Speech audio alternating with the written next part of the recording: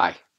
So what I want to do is a series of maybe 10 minute lessons on Lebensohl. And the idea is to try to make it simple. I think it is simple. And uh, what, that's what I want to try to do with these little breakdowns. So we'll start with the essential problem. Lebensohl, our first primary use, is over interference with no trump. Here we have a hand uh, in which our partner has opened a 15 to 17 point, uh, one no trump, although it could be any range, you just adjust points. And we have a hand that is weak with seven diamonds.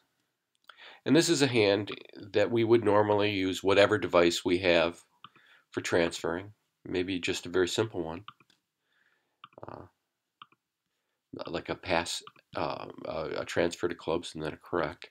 Something like this. Uh, this is how we would get to this uh, this diamond contract.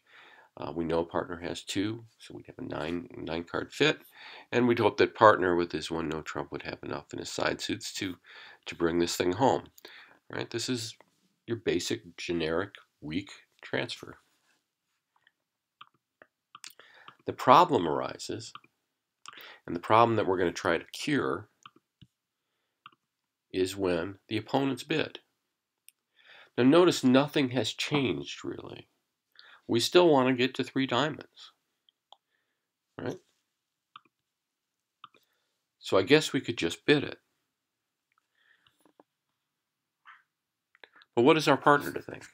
Should he think about bidding on or not?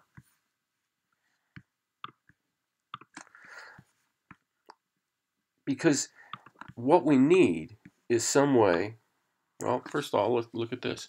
On this hand, we have the diamonds again. This time we have six of them. We have a strong hand. We might even have a slam.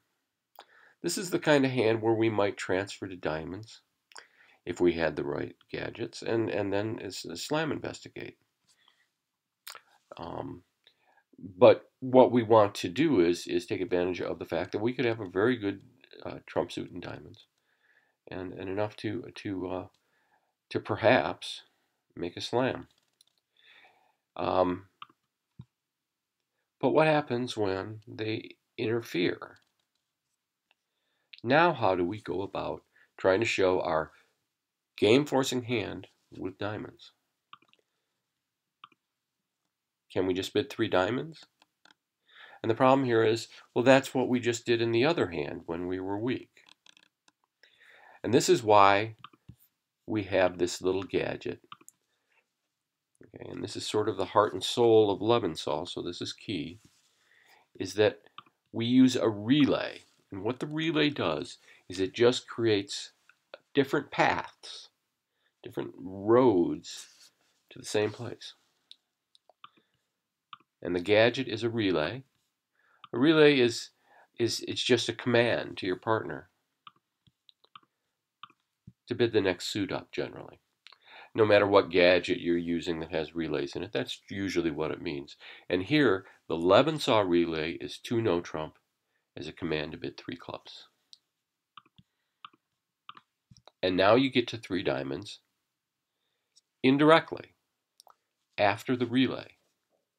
And that's the gadget, that's the key, that's the Lebensohl bid, is 2 no trump to 3 clubs. And now that we have two ways to get to three diamonds, two ways to get there, we can have a different meaning for each one of those. Now look, we're bidding a suit that is lower ranking than the opponent's. Correct? Notice that our diamonds can't be bid at the two level. Right? Now if they had bid, if they had um, if our suit was hearts and theirs was diamonds, we would have a higher ranking suit and we could bid two hearts. But when we're bidding a lower ranking suit, we only have, we're going to go to the three level to show our diamonds, but we have two ways to get there. And this is what we do. When we relay, we're showing the weaker hand. When we bid directly on the three level, it's showing a game forcing points. Okay? So that rule, a direct bid on the three level, hold in your mind because as we go through the lessons, that will always be true. A direct bid to the three level is game forcing. So, but here, what we can do is we relay three clubs, and we bid our three diamonds, and partner knows to pass. He knows that you're weak, and he won't look further. And this means that it's possible to show a stronger hand.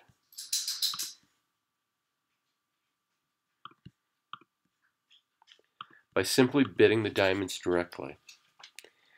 We have two ways to get to three diamonds because of the relay. If we use the relay and then bid three diamonds, we're weak. If we don't use the relay at all, but go directly to the three level, bids on the three level are game forcing. So here, North uh, sees that his partner has relayed to diamonds. You can see that the rest of the suits are stopped. Um, he, he could uh, simply bid three no trump and uh, leave it up to his partner to uh, investigate slam if necessary. And here I think he would not. So there we go. That is the two no trump relay, the Lebensohl bid. And we're going to revisit that two no trump three club relay over and over and over again in these lessons. And thing to remember is, is that the point of it is to create different paths to the same place. Here, we used it to, to get to three diamonds two different ways. And the next time we look at it, um, we're going to see that it's even possible to get to create three different ways to a suit. So that's what we have for today.